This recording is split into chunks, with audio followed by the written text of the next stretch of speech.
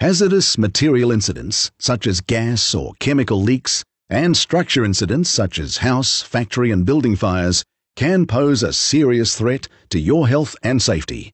It's up to you to stay alert for the warnings and take action. Emergency services send three levels of warnings to help you make decisions about your own and your family's safety. They are advice, watch and act, and emergency warnings. Let's look at these warning levels in relation to hazardous material and structure incidents. The first level, advice, means that there is an incident in your local area. Stay informed and monitor conditions. The second level, watch and act, means that an incident may impact your health and safety. The warning will direct you to shelter in place. This means you need to take shelter indoors, close all windows and doors, Close or cover all vents. Turn off heating systems, cooling systems, and fans, and stay informed. The third level, emergency warning, means that there is an incident and the affected area is extremely dangerous. You need to take immediate action. People in the area should leave immediately, and others should not enter the area.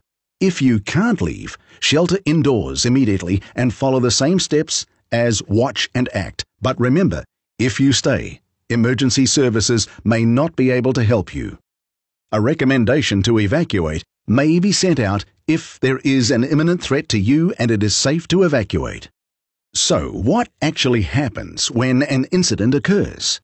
Once emergency services are alerted, firefighters arrive and decide if a community warning is required. Depending on the situation, an appropriate warning is sent out to the community. Members of the community, like you, actively seek information about the incident and take action immediately when directed to.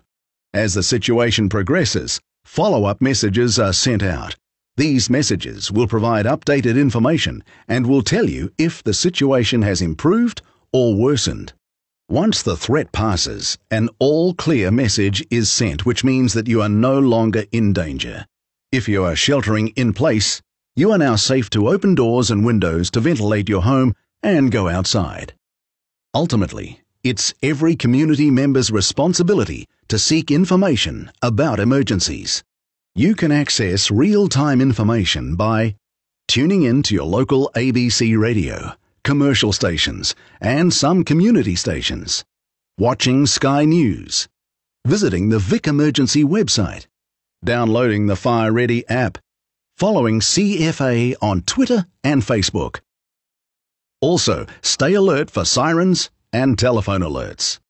And remember, understand shelter in place.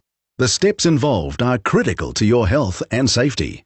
Actively seek information from a number of sources. Don't rely on just one. Take action immediately when you're directed to do so. Don't hesitate. Don't wait. Your life is in your hands.